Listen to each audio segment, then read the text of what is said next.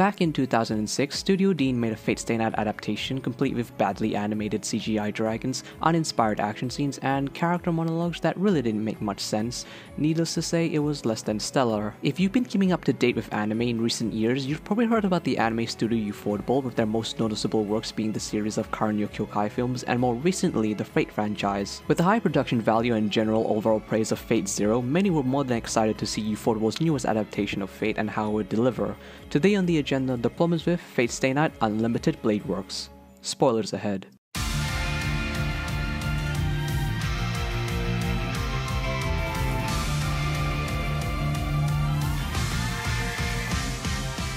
Animated by Ufotable and directed by Miura Takahiro, Fate Stay Night is a visual novel adaptation of the same name created by Type Moon. Fate Stay Night, of course, being a direct sequel to the aforementioned Fate Zero, many people wondered how it would live up to its predecessor and were most likely disappointed by the outcome. Fate Zero being a dark and action thriller about the battle of clashing ideologies and nihilistic themes of how futile it is to save the world, compared to its sequel, which basically goes against everything it stood for. It's not that surprising how some might have been let down. Now, I'll say this, if you entered the series expecting it to be similar to Fate Zero, you went in with the wrong mindset. Fate Stay Night is completely different down to its core. It doesn't have the cruel and punishing atmosphere of Fate Zero, nor does it have its nihilistic themes. In fact, the two can be basically considered different series, just very loosely connected. Now knowing this, do I think Fate Stay Night Unlimited Blade Works is a terrible show?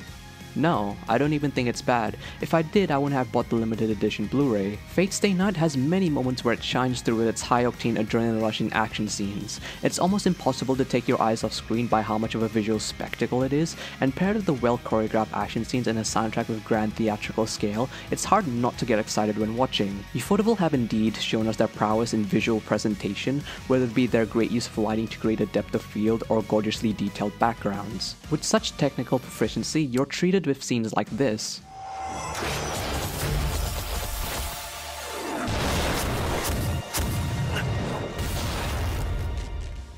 Of course, let's not forget about its epic soundtrack composed by Hideyuki Fukasawa, who's only really done a handful of shows, but that doesn't stop him from creating scores that empower the scenes they're in, giving it either an intense battle epic, or a peaceful yet somber score that reflects characters' personal dilemma. Even if you don't like Fate Stay Night, there's no denying how great the soundtrack or production quality is. However, with that being said, there are still a plethora of irritable problems I have with this series, one of them being its internal consistency. Throughout the show, Fate Stay Night tries to balance a heavy-handed survival death battle essentially a generic high school life, and to no one's surprise, it feels absurdly jarring. It fails to juggle this dynamic and makes scenes that were meant to be taken seriously much less meaningful. The transition in tone is so poorly handled that at times it feels like you're watching a comedic slice of life, which is not to its credit. Episode 12 proves this where Rin, Saber, and Shiro all go out on a date but then later get ambushed by Caster. The shift in tone is so drastic that rather than trying to enjoy the show for what it is, I end up thinking how much better the show could have been if they executed it properly, or better yet,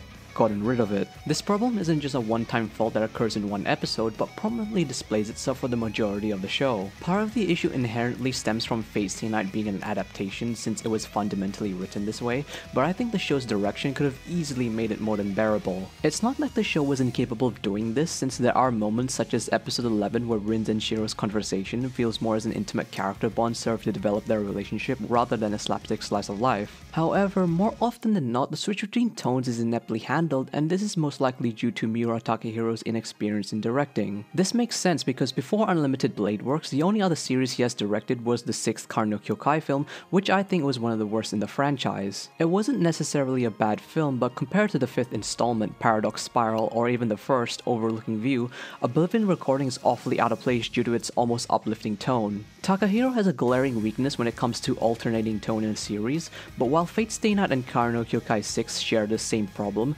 Fate is much less noticeable since they're not trying to be an eerie murder mystery with heavy-handed dialogue. Though aside from Takahiro's inexperience comes a far more annoying problem, which is Emiya Shiro. While it's true that his character is far better written than his Deen counterpart, I can't say his actions are any less aggravating. Here's why.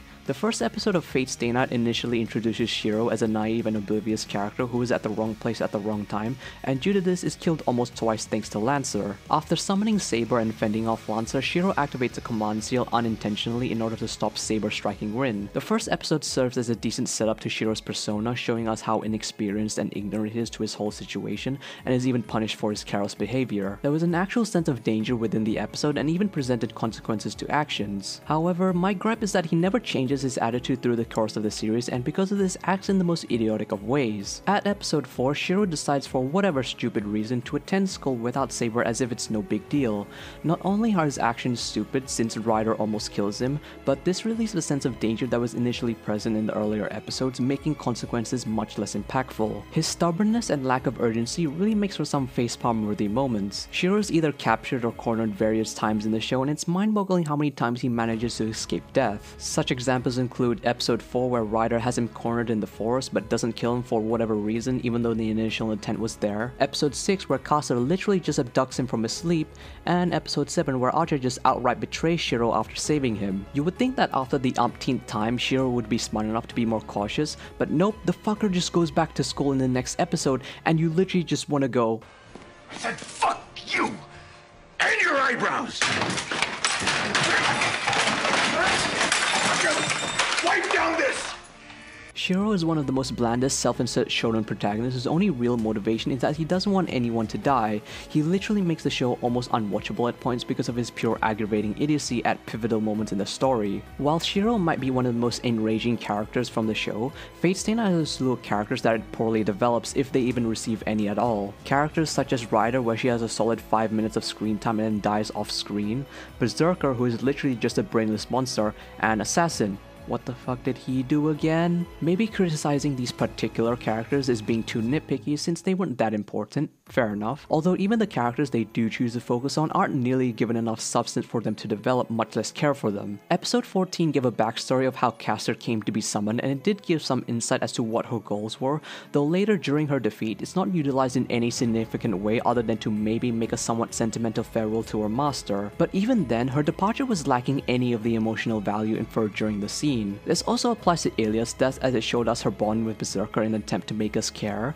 but her relationship with Berserker was treated so superficially that I didn't actually care when she died. Fate Stay Night has a tendency to sideline characters when they're not needed only to bring them back during crucial plot elements. Lancer was basically forgotten after the initial episodes and only came back when Rin and Shiro were in trouble, making the story progression feel so forced and unnatural. Though I think what's most disappointing is how the show handles character departures. They either feel very underwhelming and lackluster at points or just plain stupid. Saber, one of the main heroines, is heavily underutilized. While she does retain her stature as a noble independent knight with a chivalrous code, her motives and beliefs aren't nearly as fleshed out as they could have been. Instead, we're just left with her looking badass during fight scenes with the occasional glimpses into her ideals, but in all honesty is lacking any real depth. Her farewell was especially disappointing considering how important her role was. They built up her character and the relationship she had with Shiro only to have her fade away after saving Rin, making her departure feel so dull and unsentimental. Lancer's death in particular was comically stupid and was one of the worst character deaths I've seen in a while.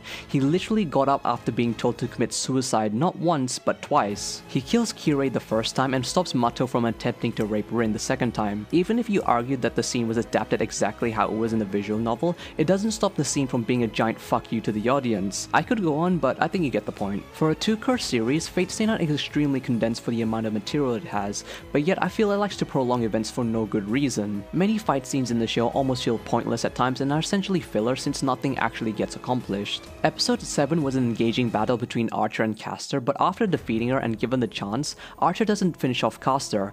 I guess because he wasn't ordered to, but that would be a stupid reason considering this is a death battle. Episode 10 also did something similar similar where Kozuki basically took on Rin, Saber, and Shiro all by himself and still had the upper hand, though instead of finishing them off, he decides to withdraw for no real reason. These filler fights break the immersion and believability of scenes, making the show less of a coherent flowing narrative but more as a tedious contrived story that progresses when it needs to. This also brings me to the ending which felt way too convenient in solving most of their problems and was almost a cheap way to forge a happy ending. I mean Rin chooses to save Mato for some reason even though he tried to kill her multiple times, Shiro somehow manages to defeat Gilgamesh in a one-on-one battle. I understand the concept, but how he did it was completely absurd and felt like the shonen power of friendship bullshit. Just take a look at this.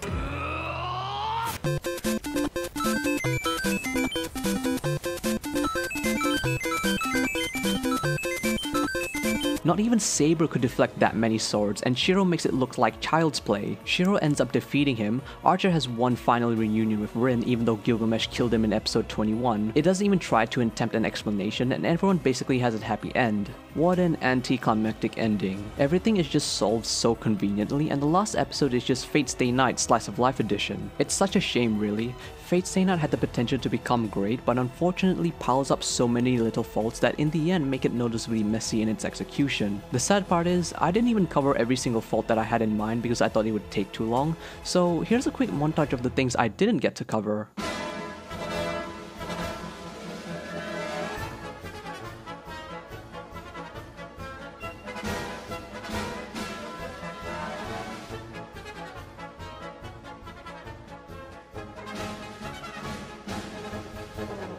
Visual spectacle and presentation is what Fate Stay Night truly excels in, and while I can't deny the show does look spectacular, I can't help but think what the show could have been if it wasn't so choppy in its execution. Fate Stay Night has some truly exciting moments, but those moments are so few and are only further watered down by its most noticeable mistakes. Keep in mind that this video mostly tackles its problems, I barely covered any of its good parts and only glossed over them. I still don't think it's a bad show. Why? Because Rin is in it. She alone makes the show worth your time. Rin is just so perfect. So my final verdict for Fate Stay Night is, it's alright, I guess. See you guys next time. Oh, and Han Solo dies.